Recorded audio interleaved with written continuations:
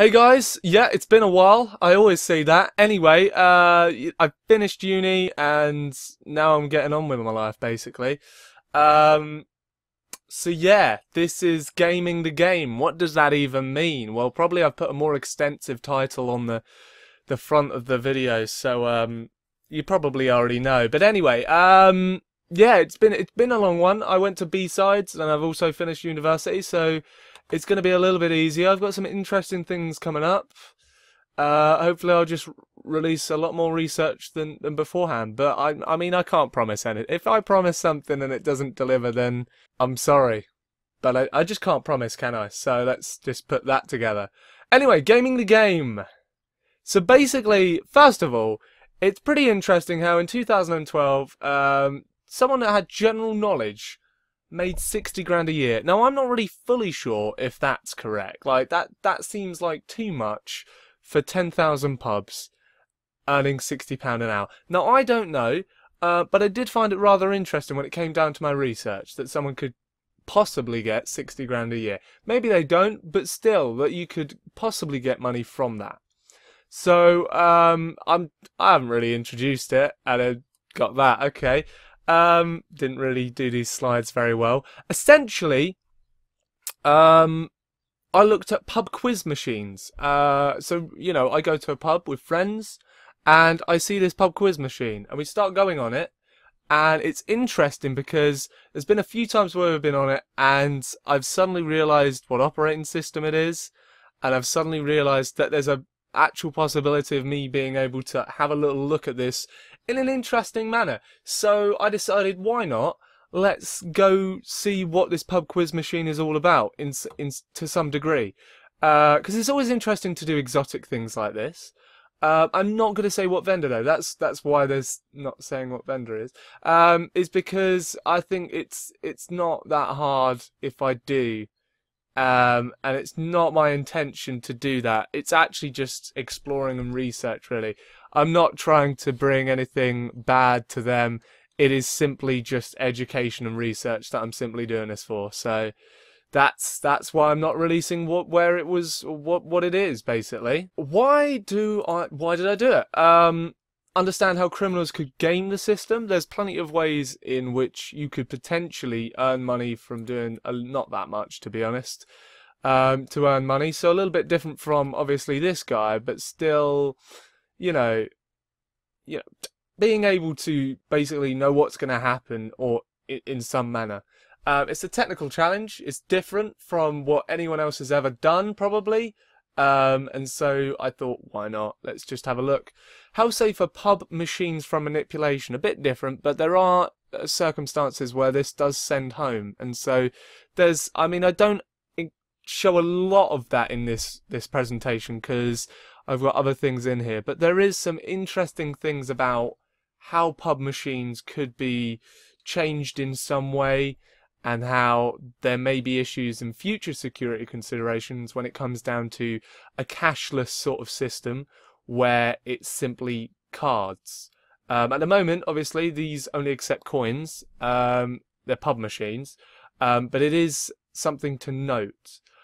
I get to notice how bad games are when I'm not in the pub as well. Um, did notice that. Uh, bit worried for me, to be honest. Uh, I was like, this isn't, this is a really poor game, actually. Um, so yeah, re- really interesting to do this sort of thing. This came in correlation with my actual uni work and other work that I was doing. So it isn't like I've just been, you know, giving you guys a long, big break for a couple of months. There are, like, I had a huge amount of work, loads of things going on.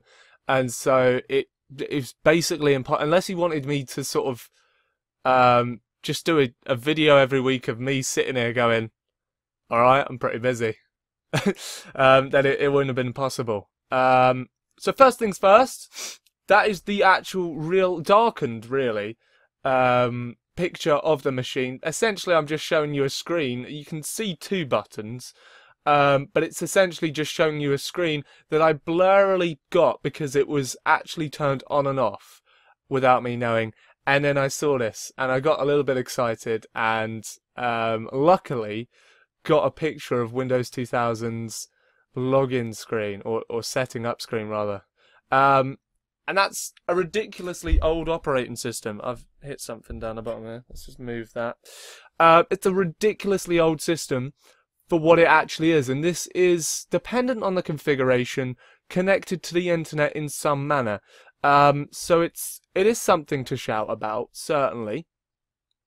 Um, now, the generation for random numbers, not great for secure transfer. There was some, in my um, reverse engineering sort of look at what it was, the analysis, that's the word I'm looking for. Um, it was peculiar. Um, it did look like FTP, SCP, that sort of thing, retrieving file lists and something, but I don't know what protocol it was. And obviously, I can run it to a degree, oh, you'll see in a moment, where I was able to verify much of that. There was OpenSSL um, library involved and other, but the, the main thing is is that random number generation for Windows 2000 is not ideal. It's not the best. Now we look at the paper, and the research does talk about how obviously um, remote is a little bit less applicable.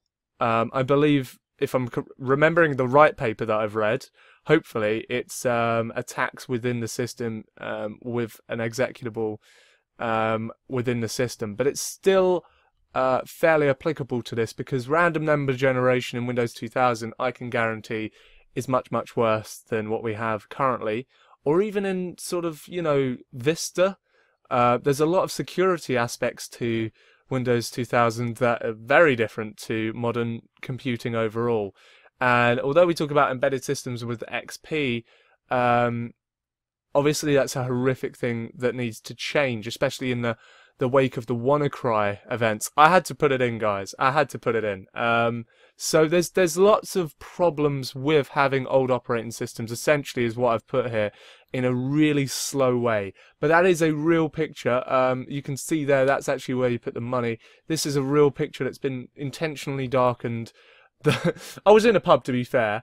Um, to show the actual machine itself in what the operating system was a lot of the visual aspects to this will be blurred or darkened when it comes down to um, actual giveaways of what it is. Uh, so stuff like this, I can easily say, oh, well, that's that. I don't need to um, censor in some way. So What's interesting is that updates were available online, so I could simply download these updates. Now, these updates weren't full system updates, and you would think with firmware, or what they called updates, you would have sort of an ISO or some Linux operating, or even just some sort of um,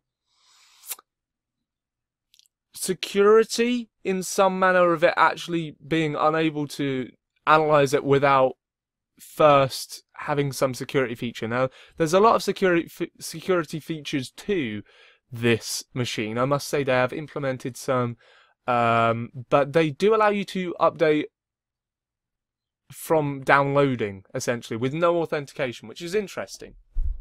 There is also multiple ways that this can be updated. Um, essentially, the games can be updated in certain ways uh, where they remotely get um, the the packages or you can download them and put the packages on yourself. So there's there's there's multiple ways of doing it. And as well as that there is evidence that the machine sends a lot of information to this hub in which you can remotely, a bit like the CPW, oh no, I don't, the TR69 protocol where you, the, the router sends diagnostics and is able to be updated remotely because that's the in thing to do. A bit like that where statistics and other things are sent to it. There are evidence of that. So that's a little bit worrying when it comes down to the operating system and what it is. But there's interesting aspects to this machine as well. Um, the installer drops. So once we've got this update, it's not a ISO, as I say, it's as .zip, right? It's, it's got a bunch of binaries in it, and it's got one executable binary that I don't need to say executable binary. There is one executable, um, which is always there, which is basically the updater. You click it and it will update it, right? So, um, with that, once the installer is actually run, it aggressively changes the resolution um, presumably to help the operator that's updating it, because screens will be different, I'm presuming, from different machines, because um, this is global. Um, and it drops in, in install.txt into the temp. Now, the install.txt is within the actual package itself, in the zip file that we've probably extracted at this point, and essentially it's all encrypted. It's just nonsense. I have no idea what's going on with it when I first saw it. I was like, well, this this is a good start. I thought I had something interesting. Well, if you just run exe from the, the installer exe, then you um you'll be able to do it without the algorithm or the key um, whatsoever, and be easily given this interesting batch file essentially, which it, well heavily modified batch file, which is essentially giving instructions in a certain manner to extract the archives and be- it, they've all got random passwords as well I should say that as well.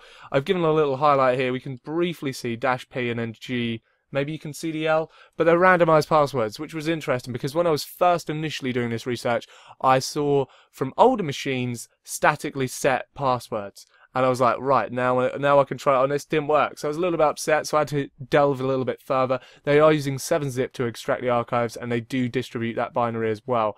I didn't really have to put the left picture there saying opening subroutine and decrypting subroutine, but actually I didn't delve into a vast amount, um, so I felt like I should give it there.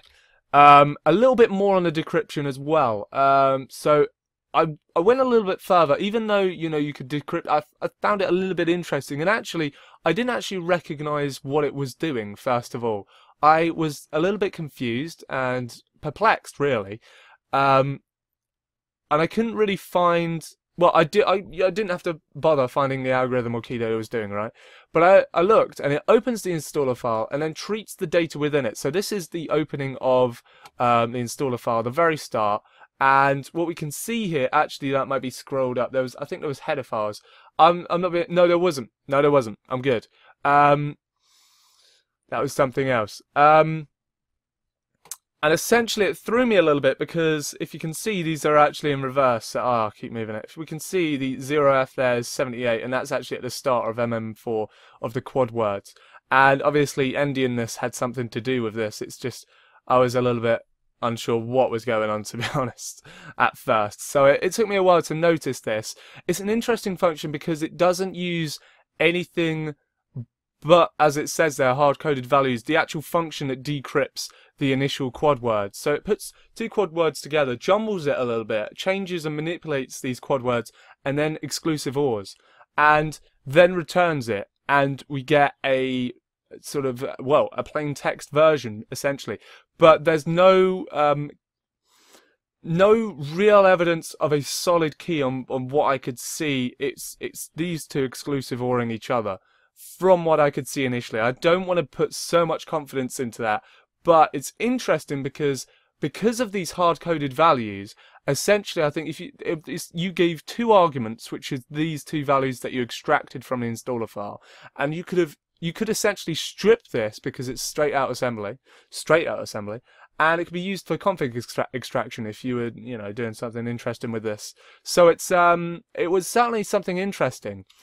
Um, what what led me to think that it wasn't actually conventional encryption is this. So the decryption header was always going to be GWENC, and it hints to me that this is homebrew encryption of some sort.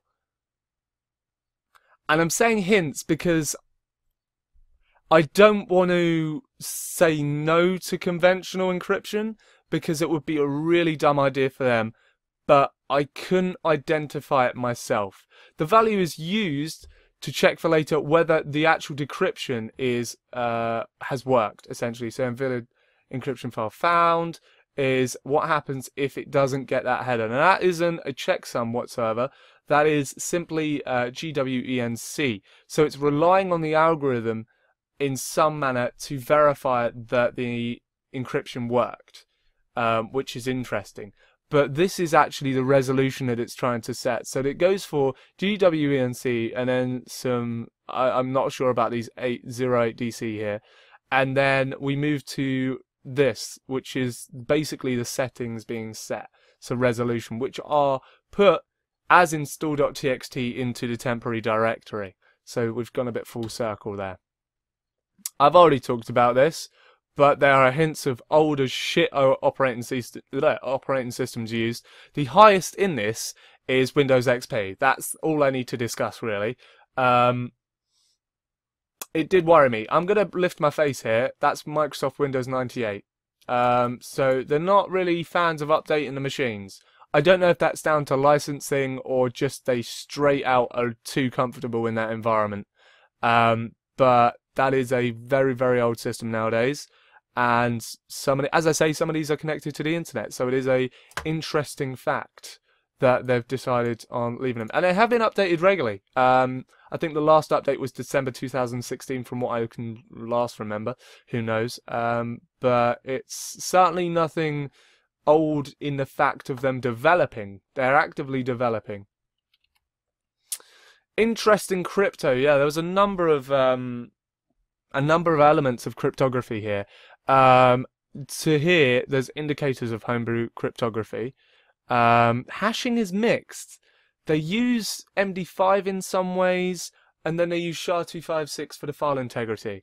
Um, now, MD5 is used in some manner for, um, I think for the packages that actually come in in other ways, from what I can remember. Um, there are actually also statically set MD5 strings that are truncated. Now, the issue with truncation with MD5 is evidently MD5 collisions, and these are sometimes used in integrity checks and making sure that encrypted files are correct, and so there's issues there. Um, so yeah, don't truncate MD5 essentially. I think there was actually uh, SHA-1 as well. Someone truncated SHA-1. I think Google did some research. Oh, they did SHA-1 collisions, but also there was, um, I think it, oh, it was Kaspersky or someone where they were, they had um, certificates that were being validated by truncated SHA-1, and obviously if you collide a certain number, then they're going to have two certificates are going to be the same, which makes one of them invalid and one of them essentially valid. Um, I think that was an interesting time for research for Google, um, and I think that was the full story. You can possibly get that from Google. You can get that from Project Zero.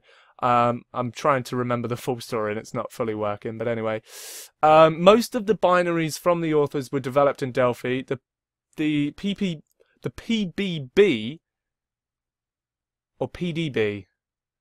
Ah, there's so process control. Oh, you know what? I don't even know. The the information about how it was compiled um, was still there. It wasn't stripped. Um, and allowed you to see the path, but basically that's not really interesting. That's only interesting in malware, I guess. Um, but it was in Delphi, which I'm really not a fan of, and uh, I, I wish they wouldn't. The C++ that was used was wrappers or installers or, or, libraries that were used from other people. Third party libraries were also used in this, actually, mostly for money collection APIs, which is weird as like getting an understanding from the API if a money's been inserted. I'm guessing from they they have um, from the initial physical board they have some sort of um, interaction with the the kernel. I don't know if it's modified or, or of somewhat or or what the sad thing is, that I don't have the full system. I just have an update which has minimal amount of applications and DLLs, and so I sort of have to take some speculation as well.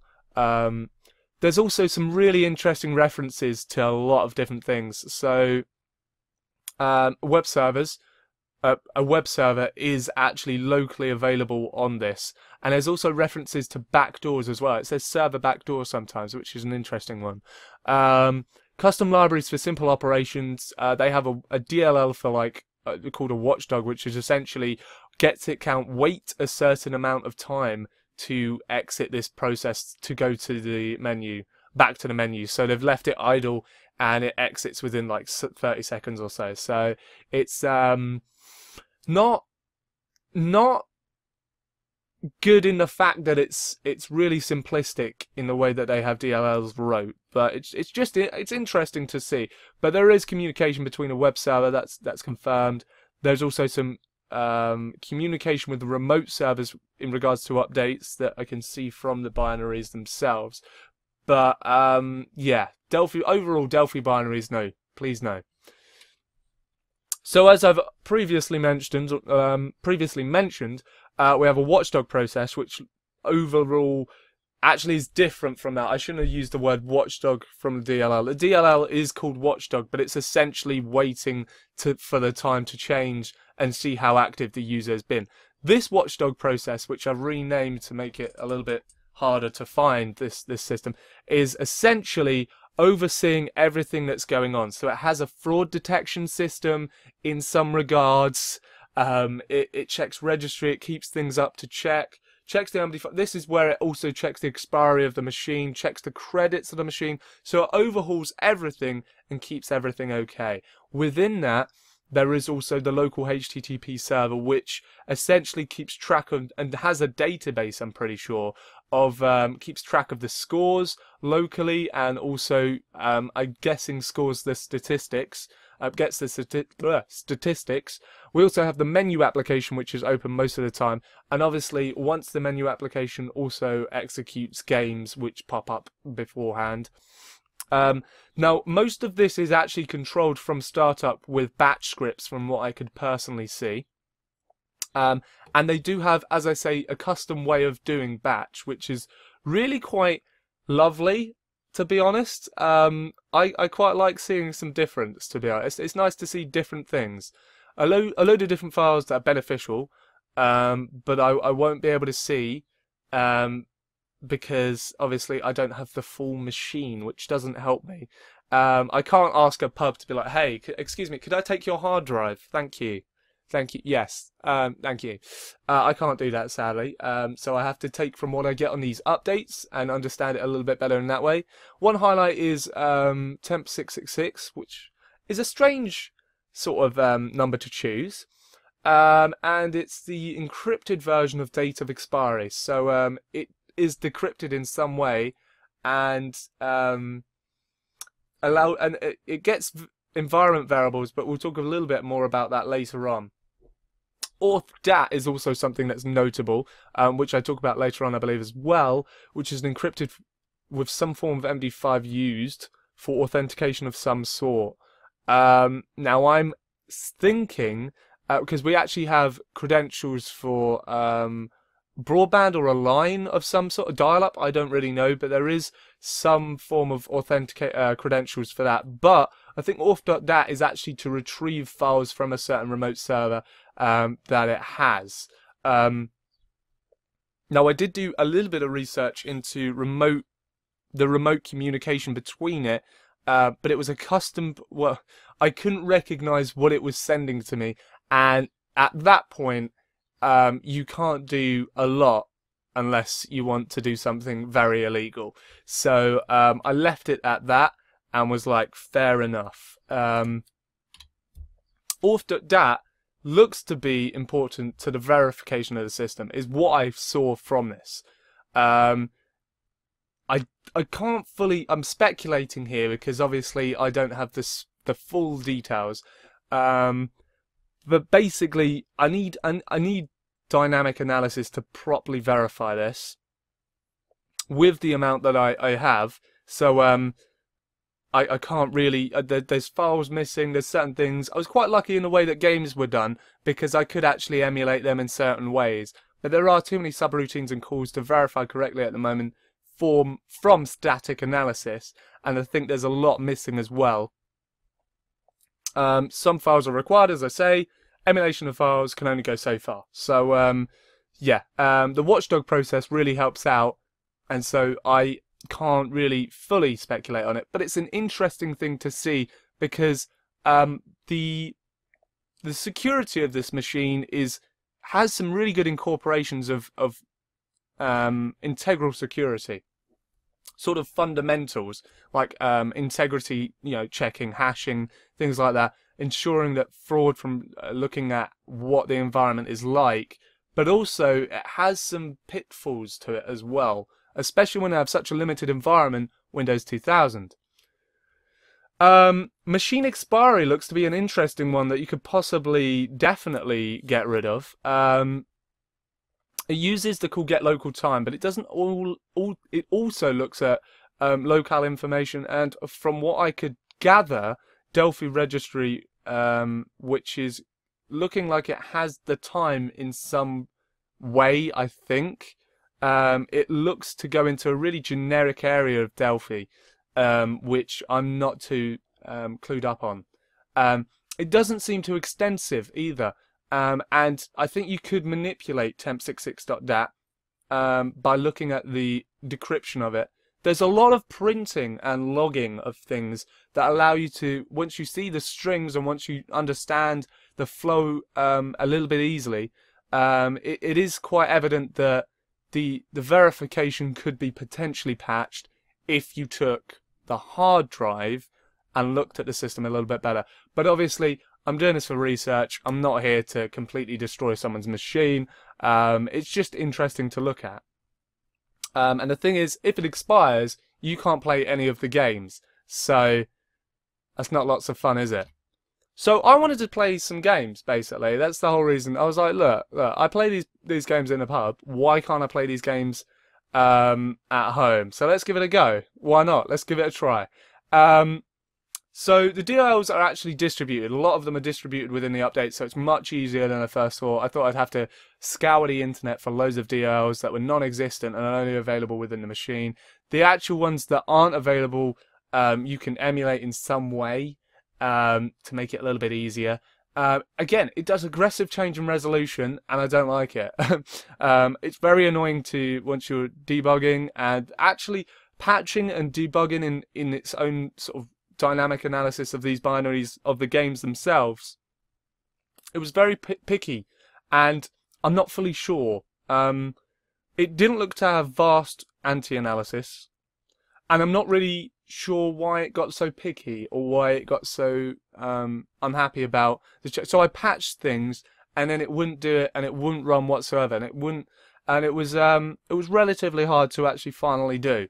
Um, eventually, I thought I'm not dealing with direct DirectX anymore and resolution issues and trying to find the cursor. So I chose to use a wrapper, which is fantastic, DXWND, and um, yeah, that saved me basically. Um, so I had to make sure the, the mouse was visible because it, the the actual pub machine's a touchscreen, and so I don't have a touchscreen. Um, and also, uh, I need to be able to click from here. Maybe later on I'll do something else, but at the moment I need to make sure that the mouse is able to click and I can see where the mouse is. Um, most games have um, a generic sort of function that allows you to add money to it. Um, so either someone's given that to be distributed that code to allow someone to do that, or I don't know what's going on. There's a lot of libraries that, that DLLs that allow you to open credits and check credits, but there's also um, what seems to be a generic function in a lot of these games which calls that and does it in a certain way. Um, and that is where I patched most of the executables at that change where it did the call and then I basically hard coded um, some values to make sure that the money was forever essentially. Um, after multiple attempts, it finally worked, and I have sort of um, censored it quite a lot. And the reason for that is because obviously I, I don't want it to be a big thing. I just did this for interesting research, really. Um, not all of the games work yet, that's for sure. Um, a lot of them with 3D graphics don't like me, um, but it is working to some degree. And I'm, I'm highlighting this, it's very hard to see, but that does have a value that isn't no money. Um, so it's it's really good that that happened and I got it working and I'm quite happy with that. This picture that's heavily censored that everyone has no idea what's going on, essentially that's asking a question and you've got some choices there. Uh, yeah, also, um, so a lot of these games, that when I mean decentralized, I mean they're so sort of self-containing. So um, it's not that hard to sort of reverse engineer, change the credits, change it in some manner, and then play it. And so it's also interesting because when we think at the start of this, what I was talking about, I was talking about how you could replicate this and know all about the questions and earn money from this. Well, you can repeatedly look at the questions, and actually, the questions are encrypted, um, and I'm working on that. But it's very easy to keep playing this game, um, and there's also a win rate. Understanding that, you can finally understand the machine overall. So a little bit of technical because obviously you haven't seen a lot of IDA here, and the main reason for that is obviously um, I did do a lot of reverse engineering actually. The most I've done in a, a sort of system um, but a lot of it I feel like would give it away because there's a lot of debug strings and identifiers in some manner. Um, so the call goes out to check for money. Essentially, that's what call sub 40E220 is. And then it gets the tick count. Now, it does exit. But what it wanted first does is it wants to check first um, what's going on. Does it exit the application? But it also um, it stores it here. This is the D word that it, the double word that it's, it keeps the money. And what you can do is you can change that EAX, or you could change it here, I believe. Uh, that's just a reference to the D word. But um, essentially, patching is is just changing that from the D word, and then it will return it for you because the EAX value, by con, uh, convention, will be the return value. And um, so that's the main part of where all the, all the money is coming from. So what next? Well, I guess you know most people's conclusions would be uh, get the physical machine in reverse engineer, uh, reverse engineer. But the issue with that is um, that would be lovely, but um, they do cost quite a lot. So um, I don't know if that'll be happening anytime soon. It's been an interesting one, certainly. Um, I've learned quite a lot from it. Also, understanding the mechanics of some machines that are quite old. Um, reverse engineer more of the system to build a fully fully fledged gaming part of of what it is. Well, some of the games aren't included, and also um, maybe, but it, it isn't a huge priority for me. The main priority was understanding the system, researching, and, and sort of just doing it blindly from having segmented bits of it and trying to recover pieces to it. So um, essentially, I was able to play a game from the updates online instead of buying the machine, which isn't great either. Um, but actually, the reverse engineering aspect of it was technically relatively not challenging, but relatively interesting. Um, okay, that is all I have for you. Hopefully, you guys enjoyed this. Um, thank you very much for waiting for this and also probably watching this. It's been relatively long now. Um, so thank you very much. And I'll see you guys in the next video. See you later.